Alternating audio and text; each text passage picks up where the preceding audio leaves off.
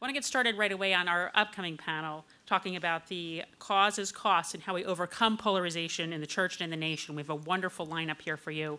Um, I'd like to introduce a wonderful ally in what we're trying to do here this week, and that's Father Matt Malone, the president and editor in chief of America Media.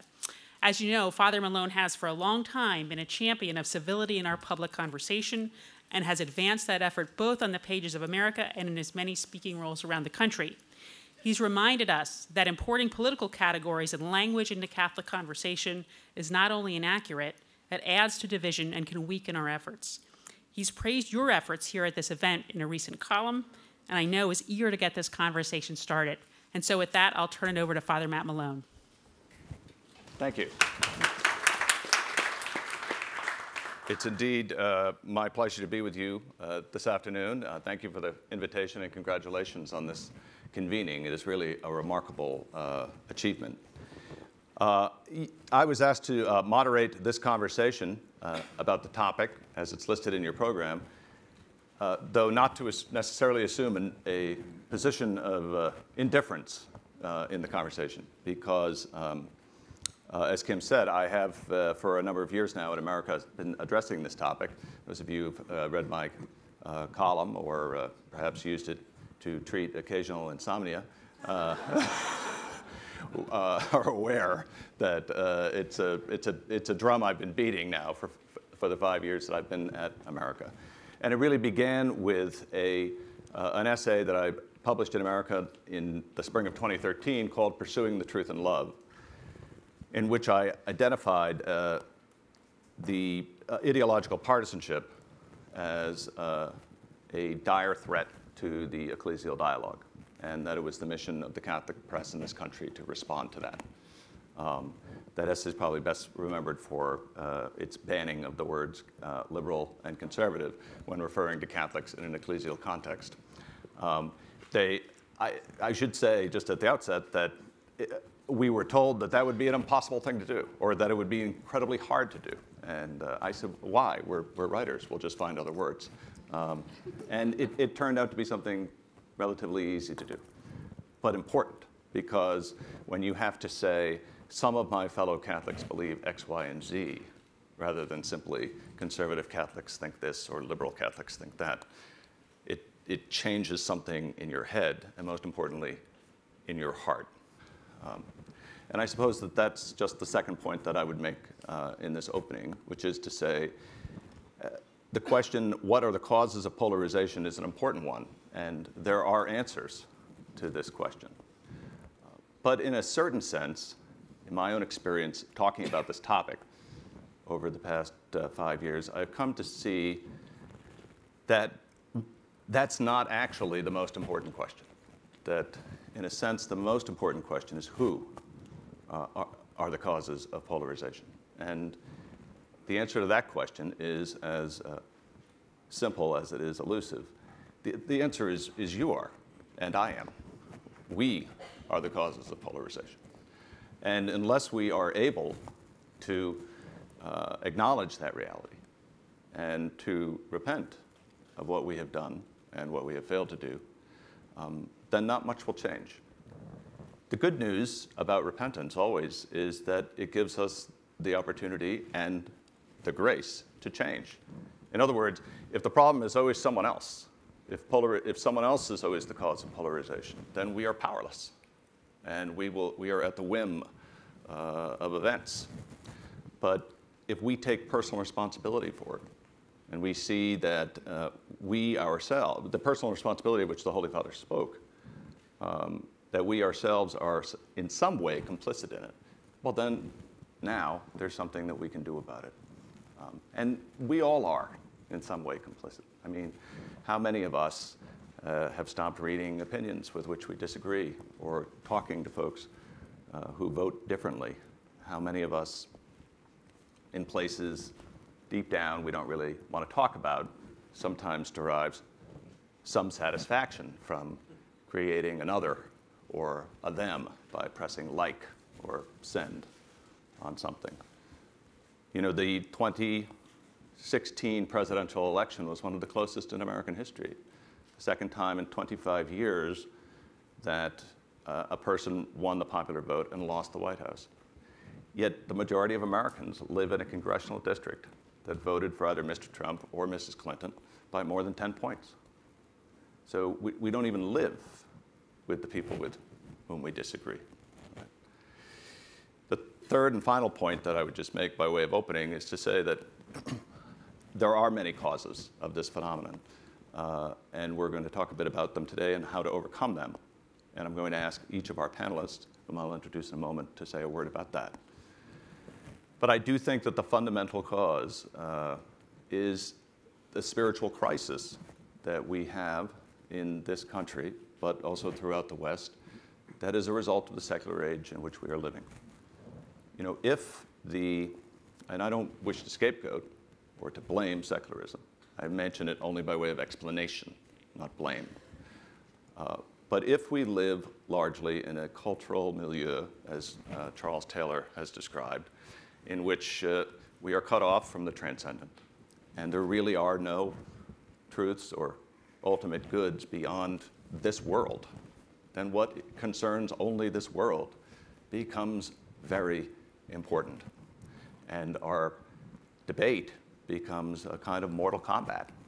And uh, the locus of meaning and uh, of purpose switches from the church to the state, and our politics becomes liturgy, and our politicians become priests.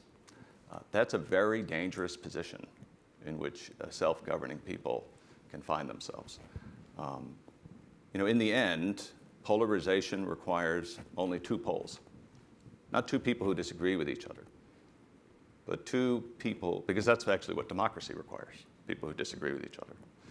But two people or groups of people, each of whom believes that the other is somehow intellectually or morally or spiritually irredeemable. Um, and that is a, a people who are incapable of self government. So, this is a very serious, serious topic, and I'm, I'm very grateful to uh, have this opportunity to address it again and to have this really wonderful panel offer their insights about the problem and the solution. They are probably well known to you. Uh, I will not uh, be uh, long in introducing them, uh, but to my right, uh, literally, not the other thing. uh, Scott Appleby of the Notre Dame Keough School of Global Affairs, Sister Patricia Chappell, the Executive Director of Pax Christi, uh, Elise Italiano, the Executive Director of the Given Institute, and Hosffman Ospino, a theologian at Boston College. And I wonder if we might begin just by going down the uh, panel. Uh, I wonder if we might begin just by offering your thoughts on the topic, the causes, uh, and the, um, uh, the causes of the problem and the solutions to that problem. How do we explain polarization? The challenge is not how do we explain polarization, but how do we explain the previous panel, which indicated that Catholics have somehow held the center. That polarization is not difficult to explain. I'm 61 years old. We didn't start the fire, but it's been raging just about since I was born. It, there's not a cause and effect, I hope. But during the period that most of us have been alive, historians shouldn't particularize a period and say it's different from others in some radical sense, but one could make a strong historical argument that the, the times through which most of us in this room have lived have been extraordinary. It doesn't take too much time before I was born that air travel began, and then we have a new age of globalization in which time and space has shrunk in a way unlike previous generations and centuries. In our own lifetime in this country, just think for a moment the traumas that this nation and this church has been through.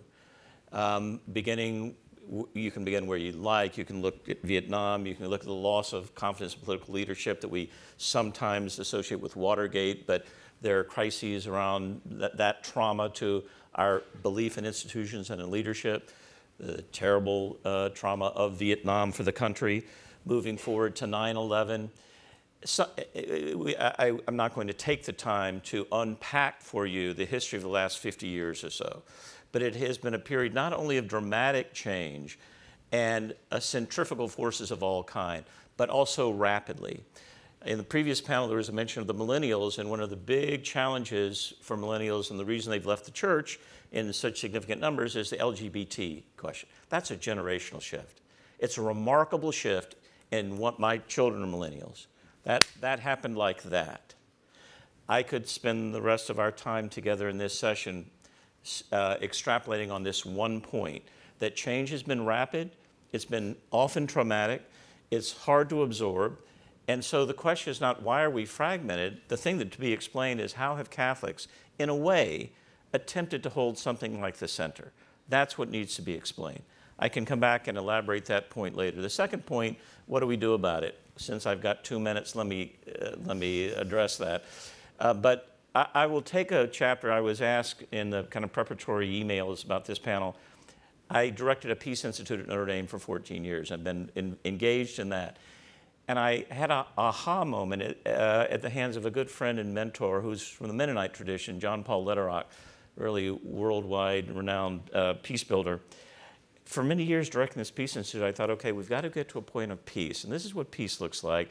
And here's the social and economic and, and moral state of peace. And I was waiting for us to get there. Of course, this is a naive and silly thing. And he, John Paul, was writing books that were more sociological than the first part of his career, talking about how do we negotiate conflict. He had his pyramid, you know, you go with the, the middle out, not the top down or the grassroots. You, you identify the people in a conflict setting who can reach up to the elites and also to the grassroots. He's doing that kind of sociological stuff. Then, about midway through his career, he started writing books like one called that I commend to you, The Moral Imagination. In this book, he started talking about metaphors like cocoons and spider webs and platforms, and this is what it is to bring peace. And I took him aside and said, John Paul, when you're over your midlife crisis, would you get back to the sociology, not the haiku, not the Zen, not the cocoons and webs? And then I was called by Providence, because there was no other reason for me to be called, to lead a retreat of Mary Maryknoll sisters from around the world for a month at Mary Maryknoll. And I thought maybe I wasn't giving this Moral Imagination book a chance, so I assigned it to the sisters. They immediately got it. They understood. Of course, a web a web has points of contact that are strong. Maybe for Catholics, the Eucharist would be one of them. And you can think of others family, um, the historic witness of the church. And the web can be destroyed very quickly by violence, by conflict. But if those anchors are in place, the spider builds the web again over time or a cocoon, which is a nurturing. So the, the overall point was peace is not something we are, uh, uh, you know, terminus ad quem and now we've got it. It's actually an ongoing process of building cocoons, webs, platforms, moments and oases and initiatives of peace within a broader context that can be often conflictual and deeply violent. The book goes into real concrete conflict settings about that. What does that say to our situation as a polarized nation and church? It says that a way forward, and what in fact we have been doing, which just gets back to that Catholic middle, is we find ways to come together to seek common ground, to have dialogue, to work in these vital parishes, to work in universities. And what we can reflect upon what we're doing conceptually in a way is we are building these webs, we're building these cocoons, these platforms that sustain us over time the church is sustained, continuing education, education continues, peace building continues. In a way, we might want to shift our lens and ask ourselves what is the goal of decreasing polarization rather than accepting, in a way, we're in a generation and at a time in history in which this is our fact of life. It's not going away soon. What are our strategies within that context?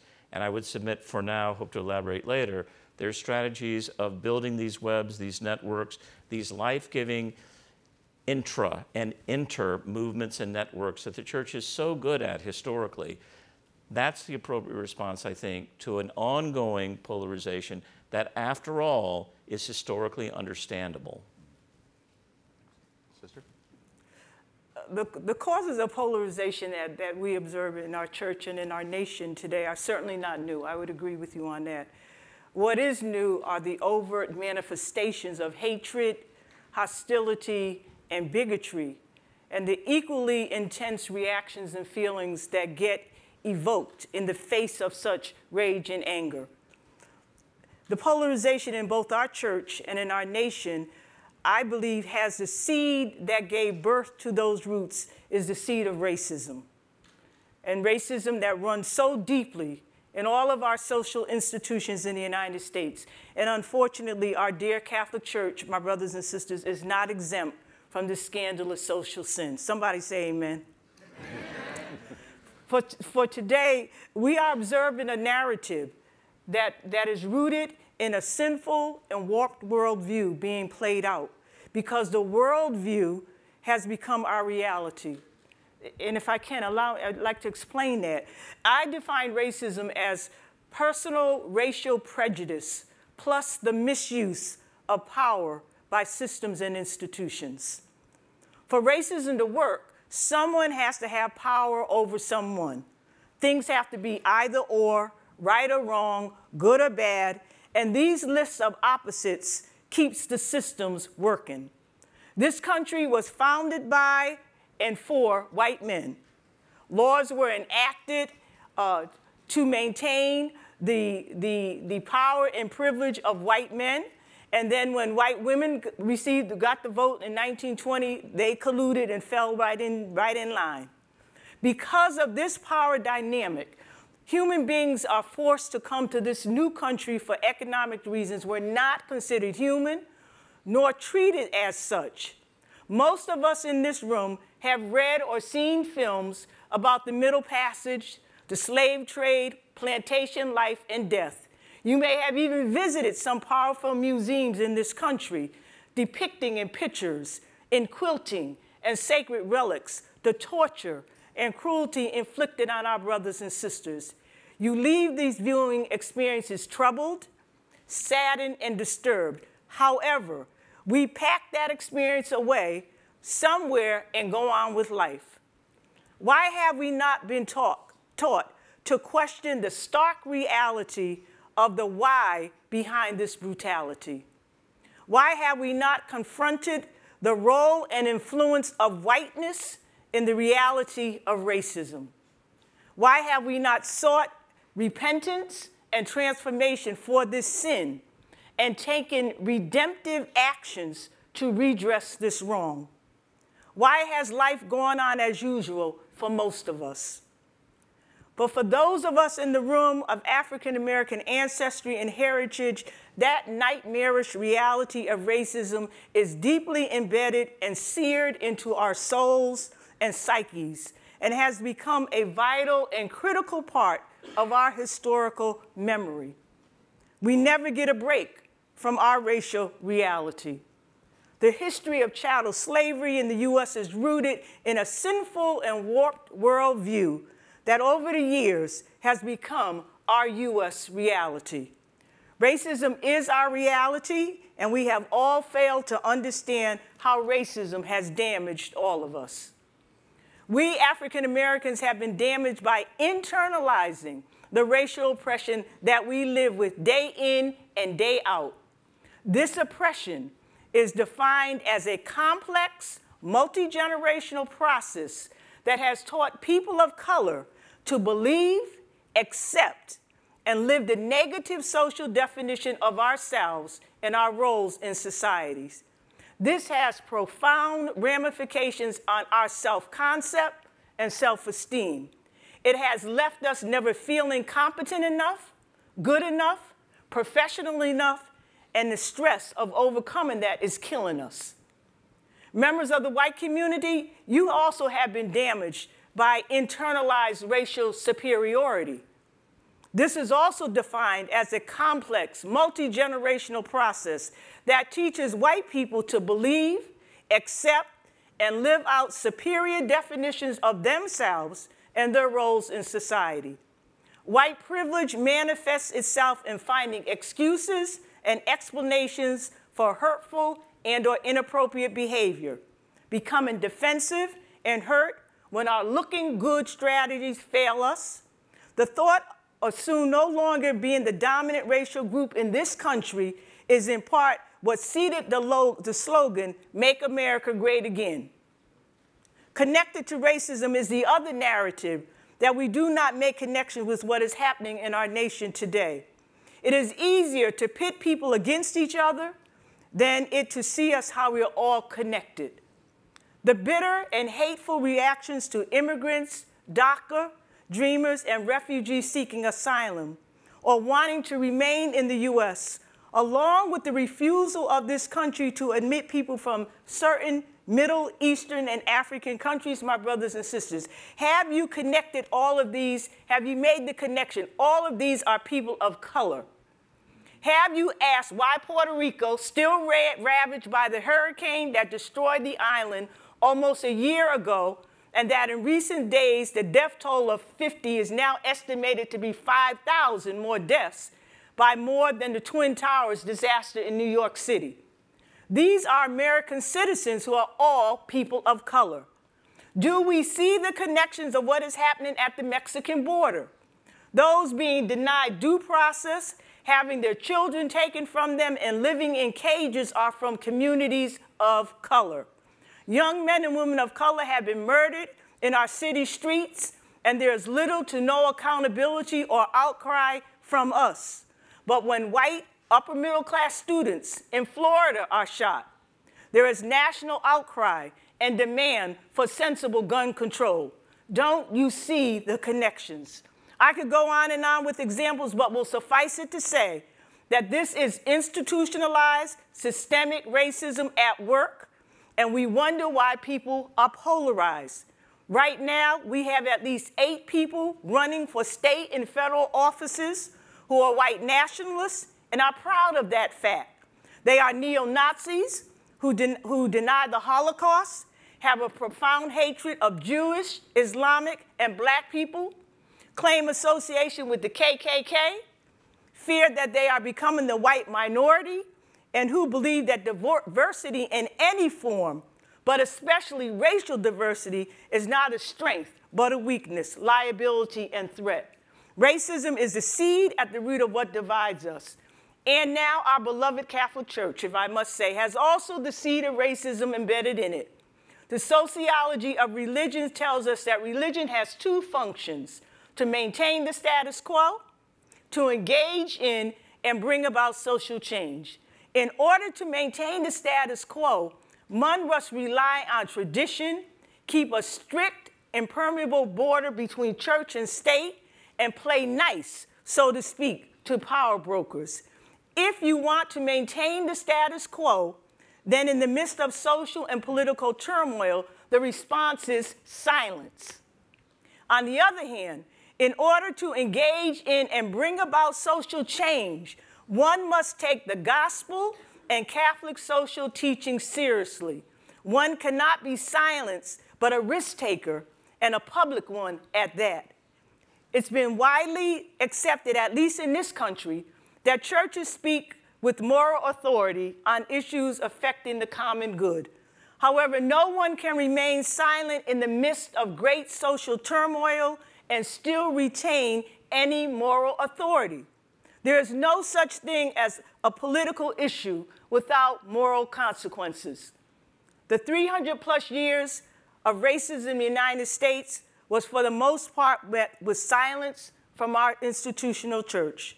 There were few who spoke out against the institution of slavery, pleading for their owners to allow their slaves to be baptized.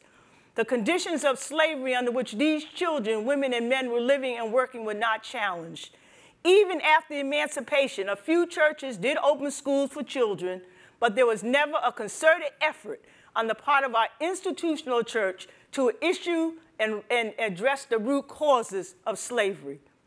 During the civil rights movement 200 years later, no real response from churches in the U.S. was forthcoming. The writing of pastoral letters on racism was an exercise of a few bishops because these efforts were not proclaimed from the pulpits in our local parishes on Sunday, nor were the tenets of the Catholic social teaching. We have recently begun efforts by the United States Conference of Catholic Bishops, as we all know, to address the sin of racism. And only time will tell what that will be. The cost to healing our nation and church of the polarization caused in racism will be risky. It will cost white people their comfort and will cause people of color to work together instead of pitting ourselves against one another.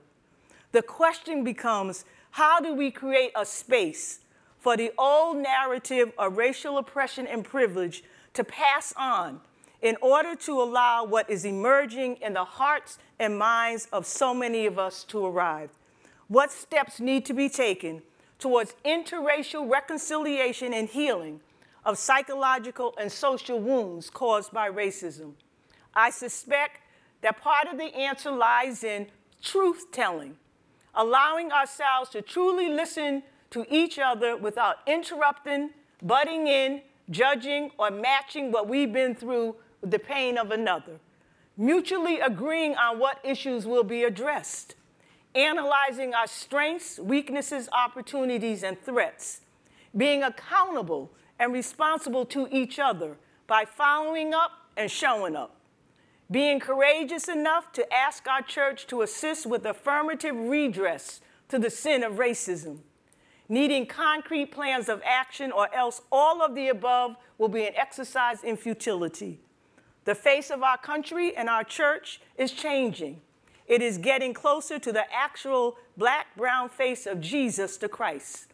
How welcome will we make this Jesus feel? Amen. Thank you, sister.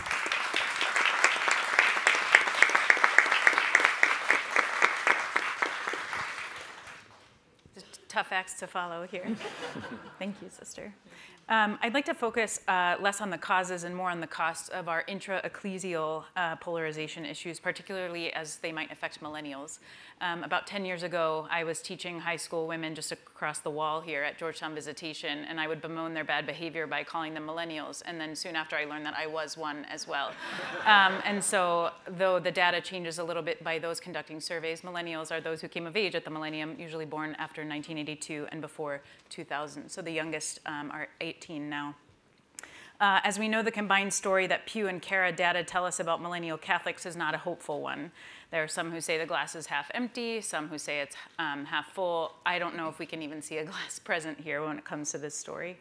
Uh, millennial Catholics are disaffiliating from our church at an unrelenting rate. Um, and for some time, that disaffiliation now has been happening at younger and younger stages of development. As a church, we've told ourselves that millennials will come back once they are married and have kids, but by and large, they are neither marrying nor having children. If they are, they're doing it later, and many are not doing it in the church at all. A recent America Media and Cara study on Catholic women in America reported that 17% of millennial women attend Mass at least once a week. Mass attendance, of course, translates largely into more engagement with lay ecclesial ministry and outreach to the poor and vulnerable. Cara, a different Cara study reports that 80% of lay ecclesial ministers are women. So the fewer women engaging in their faith at a younger age paints a dire picture for our parish and social justice ministries. Christian Smith at the University of Notre Dame fills out this picture with his own research with the National Study on Youth and Religion. His study reveals that millennials share similar characteristics across the board, whether or not they are religious. We are, by and large, and this is just briefly um, a, a summation, highly anxious, skeptical of institutions, transient, unable to defend a moral framework beyond our own intuitions and feelings, which means we are also unable to identify goods um, or even common goods. We can't speak to what people hold in common. And we are putting off long-term commitments, which will affect vocations to marriage, religious life, and the priesthood. I'd add, I agree with Cardinal Cupich that we are also quick to sniff out hypocrisy and we resent inconsistency. I think it might be helpful to see real quickly a brief tour of my own uh, coming of age story in terms of a timeline. I, this is not my so-called life. I'll move very quickly on this for those millennials who remember um, that show.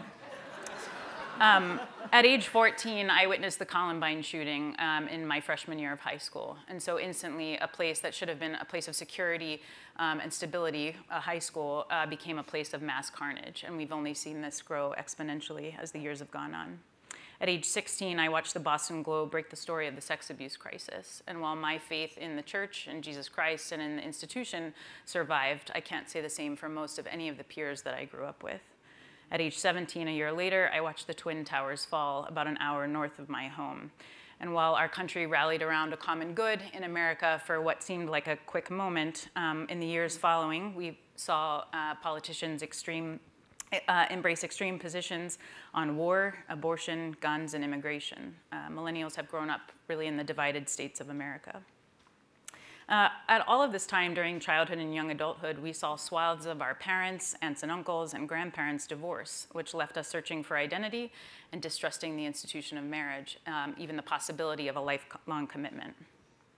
We then entered college and we graduated crippled in debt as higher education costs were almost insurmountable, especially with interest rates climbing. And we were told to go to graduate school because with the changing economy, we would need more than a bachelor's degree. Uh, I graduated at the beginning of one of the worst economic recessions since the Great Depression. The fact that I've had a career in the church is nothing short of a miracle since that time. On top of this, a third of our generation has been lost to abortion. Thousands of our peers commit suicide every year.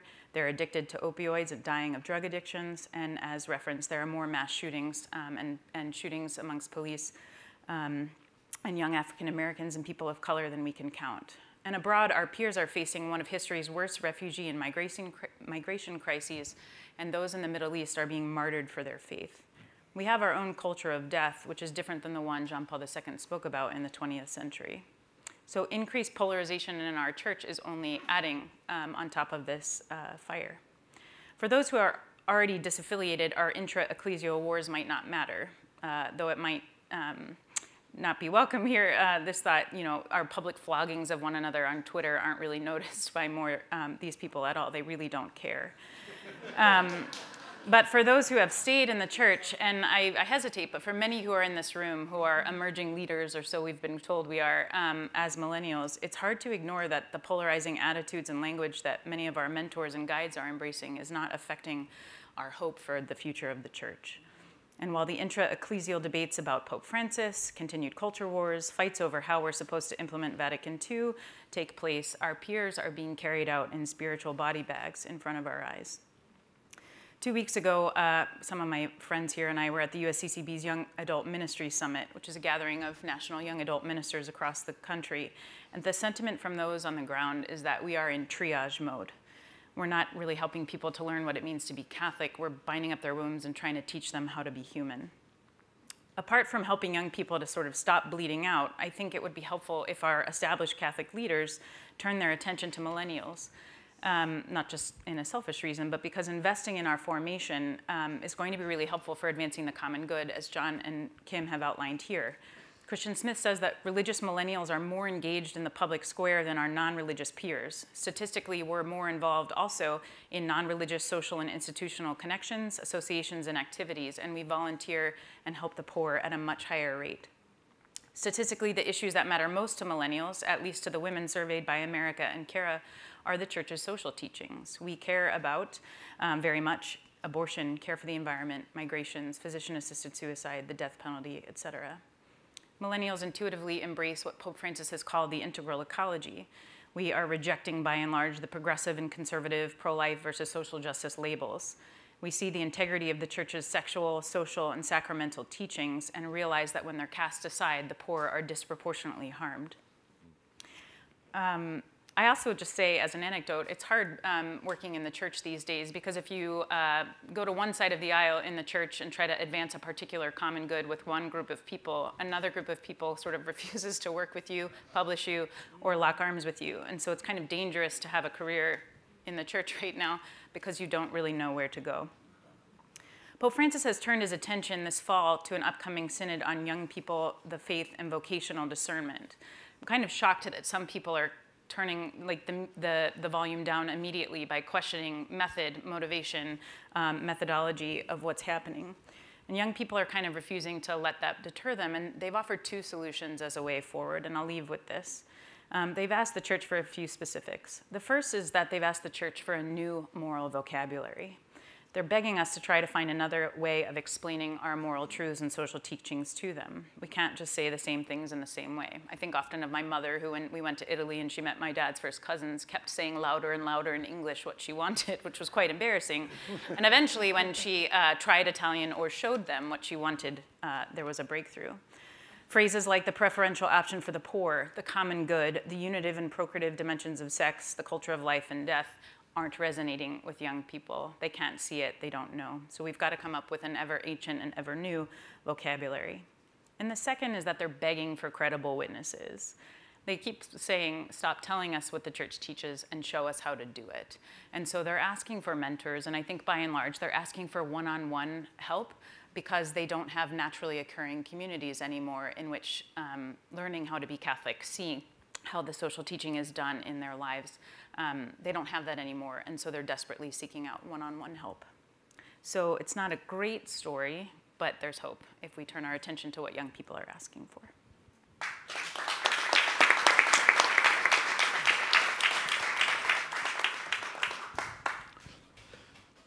Well, thank you very much for the opportunity to share a few thoughts uh, on this important uh, topic of the causes of uh, polarization. And I um, want to put on my hat uh, of uh, theologian uh, to just analyze some of the dynamics that were shared in the previous panel and some of the thoughts that I bring to this conversation. there have been different perspectives about what it means to be a Christian from the very beginning, from early church. You know, a few months ago, I was able to publish a, a chapter in the book that do, Dr. Bruce uh, actually uh, mentioned earlier uh, in her presentation uh, on overcoming polarization. And in this, um, in, the, in, this book, in this chapter that, uh, that I wrote, I actually uh, shared that for instance, if one looks at the schools of Alexandria and the schools of Antioch, you know, those were two very different schools of interpretation, biblical interpretation, theological interpretation. But Christians in those two schools saw themselves as part of one community, one church. Another example of difference among Christians, and particularly among Catholics, is what happened uh, with uh, Euro, uh, US Catholics at the end of the 19th century, early 20th century, when they were engaged in this big debate about whether to be more Catholic or more American. Those who argued for being more Catholic were perceived as more traditional, more conservative, those who argued for being more, uh, uh, more, uh, more American were perceived to be more progressive. However, they saw themselves as part of one community, one church. What I think is that today what we are witnessing is a profoundly ecclesiological challenge. We are journeying as a fragmented church in the United States of America, deeply fragmented church we got a Democratic church that is walk, walking in parallel to a Republican church. We have a white church walking in parallel to a minority, or better, minoritized church. We have a middle upper class church walking in parallel to a church of people who are primarily poor. We, got, we have an established church that is walking in parallel to an immigrant church technically, we have the old dilemma as walking in parallel to them, us versus them. So we need to keep in mind the fact that there are many Catholics in these minoritized, groups who are being pushed into becoming part of the dominant group or the predominant group. You know, they are being pushed to becoming white or becoming Americanized or choosing to do so in order to survive sociologically, politically, and even to survive ecclesiastically. Not, this is not ecclesiologically, but ecclesiastically. To survive in the church, they got to embrace certain practices and certain ways of being. This is becoming a question of survival for most of us. A process in which you know, we are losing the cultural, political, and religious soul. In, re in religious soul. In this brief analysis, I want to bring attention to what I want to call the victims, the losers, and the forgotten ones in a climate of polarization. And I want to bring up you know, four, uh, four, uh, four points in here. One, who are those victims, the losers and the forgotten? Those peoples whose lives unfold in the realm of the not hot button issues. Usually, people who live in poverty, people with low levels of education, people who are undocumented, they are invisible. They are treated as non persons. They are the victims of, the, of this polarization. Nobody cares about what's happening to these people because we are engulfed in our highly intellectual dynamic, uh, uh, disputes. Who are the victims, the losers, and the forgotten? People whose issue, issues are so hot button that they are often avoided, dismissed, and even condemned. For instance, LGBTQ, LGBTQ Catholics, women who are victims of violence and domestic, uh, and domestic violence, victims of massive incarcerations, mostly black and Latinos, victims of racism in our communities. Who are the victims, the losers, and the forgotten in this climate of polarization? People who are new to the polarization battles in the United States of America, particularly immigrant Catholics and the young. And we just had a, a, a brief uh, presentation on this. Let's not, uh, no, let's not forget that about 25% of all Catholics in the United States of America at this very moment are immigrants. And between 55%, 50, 50, 55 to 60% of all Catholics in the United States under the age of 18 are Hispanic. These immigrants and these young people are inheriting the battles, battles that are not theirs or battles that they do not understand. So, the flesh and blood, let's not forget that these losers and that these victims and these forgotten in the battles of uh, polarization are flesh and blood people are women and men with real lives, with names, with families. And they should not be reduced to statistics or issues or merely problems. And it is when they are reduced to statistics, issues, and problems, then that it's easier for us to use them as footballs in, a in, in, in this polarized uh, battle. So my final point here is we need to really come to terms with the fact that we are entering into a new Catholic moment in the United States of America. And this new Catholic moment in the United States of America is being defined by highly minoritized voices that are forgotten in the midst of these battles. We are not paying attention either, neither to the present or to the future of Catholicism in this country. Thank you.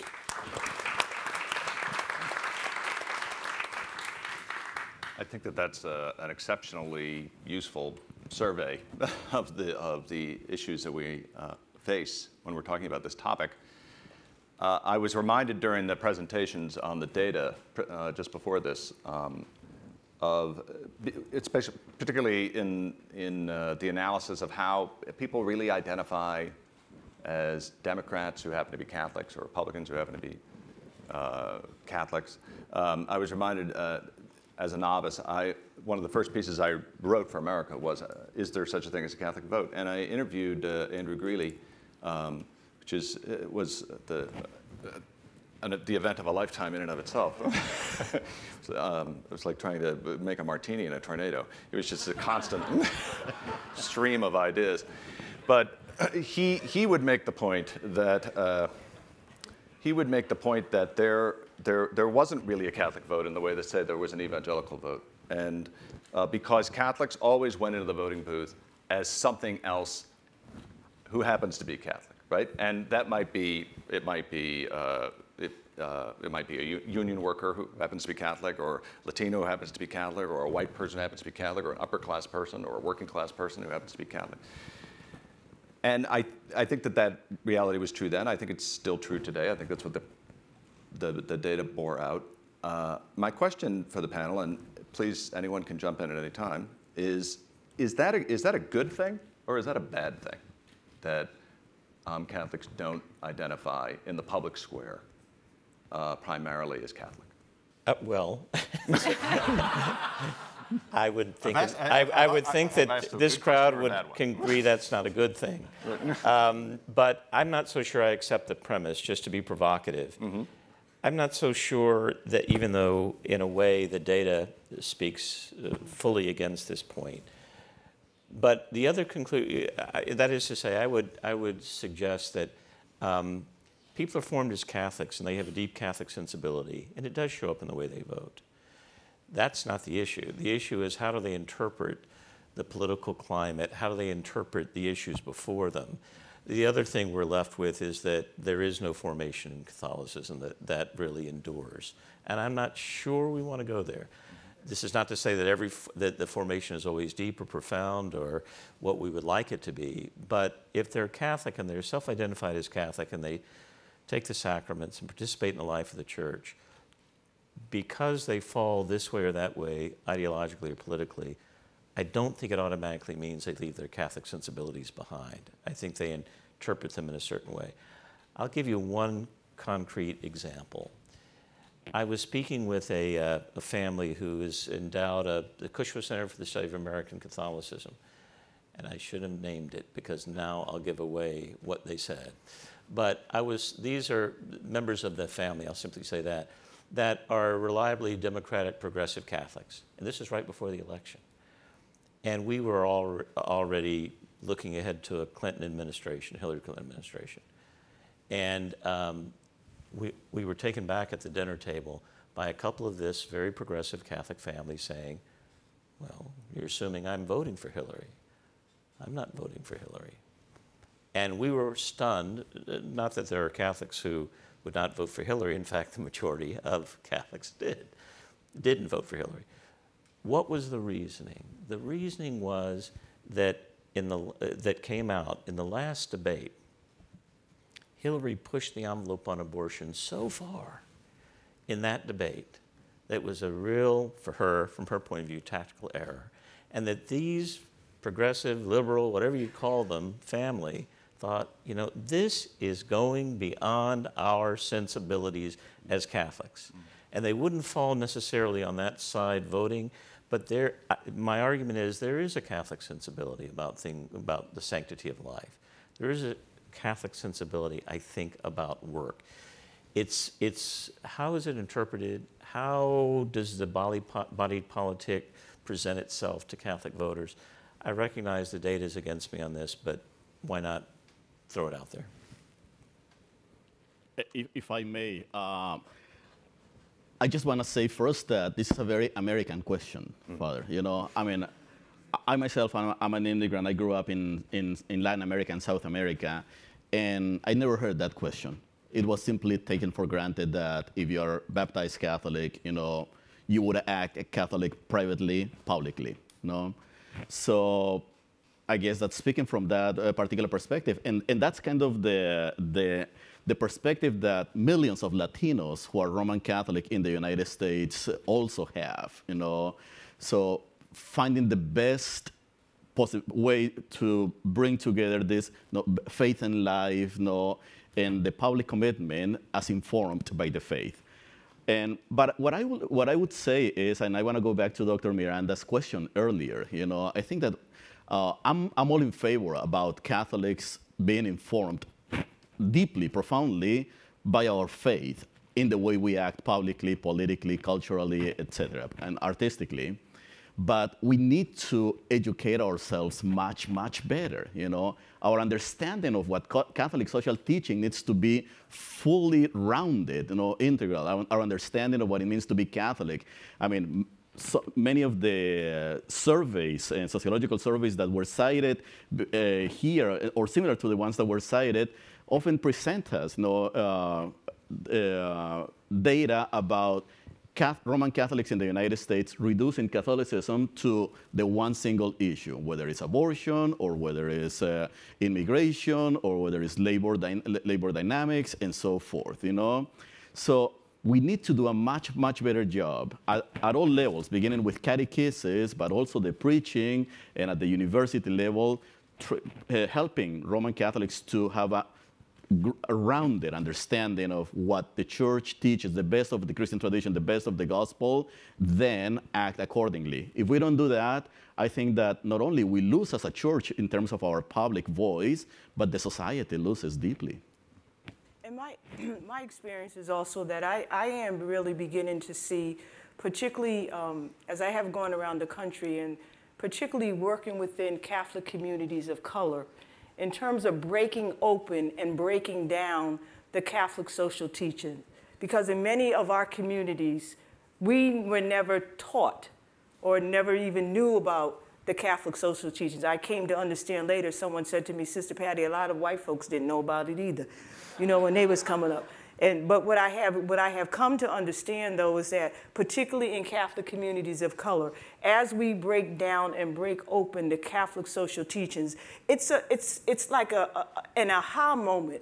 People realize, number one, they feel empowered, number one. Secondly, it is very much in keeping with much of the, the, the, the cultural norms that are part of those communities in terms of one does not operate from an individualistic perspective, but the sense of community has always been a, a key, uh, a, a, key part of who we are and whose we are. And then, and my experience has been, people then seem to step up to the plate um, and seem to want to get more engaged and more involved uh, in, in, in asking questions, uh, in looking at uh, how do we do outreach uh, to the people in those neighborhoods, et cetera, because they have come to a renewed understanding, if you will, of the Catholic social teachings. I would just add um, one thought. I mean, millennials, by and large, generationally, um, at least Catholics, and this might just be um, people who I've talked to, are feeling increasingly so politically homeless that they feel paralyzed to do anything. I mean, part of this might be apathy, but part of it is not cast a vote. And I think um, the data was that we were just heard before this panel talked about, you know, sort of meta national, the 2016 election, and we'll talk about Congress, et cetera. But having worked in a diocese and watched um, a state Catholic conference attempt to get people to even write pre-written letters to legislators for issues that dealt with all aspects of the common good. I mean, you can't even motivate people to hit send and just type in their name with an electronic signature. So to me, there's sort of like this, even on the local level, when things are handed to people, they're still not moving. And this, again, might be a generational thing, but th there's more than a national question at stake here. So we have a hard stop coming up. Uh, so this is our quick final question. Um, what, uh, what we, just go right down the row here. Um, one specific thing that, uh, that, somewhat, that people can do to overcome this problem of polarization? I mean, based on, based on some of the remarks that I have heard, uh, no particular Sister Pat, and, and what I was observing, I and also the millennials, I would say let's learn about who we are as a church. No, we, we, we need to know who we are, what our questions, narratives, stories, our struggles are, and then we will be, we need to encounter ourselves. We, you know, we need to come together, and that will help us to move forward. I would um, just kind of pick up on the theme that I had before. Every established leader um, in a position of influence, no matter how big the sphere, should be taking on someone who's showing interest in the next generation and showing them how they've done it um, and being open to how it might be done differently in the future. This uh, sort of practice of mentorship is becoming really popular amongst young adult ministers, um, and we're, we're really begging you to take us on in that um, space. I, I, would say that uh, there's a need, again, for uh, Catholic communities of color, again, to know themselves in terms of their cultural reality, their culture as it empowers their Catholicity, and to be, and to, and to be uh, appreciative of that, and to, and to continue to find ways of being able to integrate that into uh, what we do in terms of serving uh, and, and serving others. And the other piece I would say, particularly, is that we, we have to uh, begin to learn uh, not to be afraid of the other, mm. not to be afraid of the other, and be willing to sit and dialogue with each other uh, without um, making judgments. I would say evangelization for participation. Yes. Evangelization for participation. Democratic institutions don't recreate themselves. Um, a very troubling statistic was that uh, millennials and probably those coming up don't have a lot of faith in institutions. They can seem to be boring or corrupt or uh, not, not the thing to participate in. But I think we have to evangelize people to be part of their local political community, community state, national political community, and also in the same way to recommit to those networks, those movements, those parishes, those things that keep the church vital as well. So evangelize in our various sectors, education, ministry of various kinds, for participation. Okay. Amen. Uh, and I would just propose uh, something that America has uh, adopted, the Catholic Social Media Compact, which we announced last January and we put out uh, in the magazine. It's 10 principles for action on social media, um, and you can check it out at americamagazine.org. We're trying to hold ourselves to them, not always successfully, but we're trying. Um, the 10th probably being the most important, that before you press send, you say the prayer, Lord, open my lips and my mouth shall proclaim your praise. It's amazing what that stops you from doing. Let's thank our wonderful yes. panel.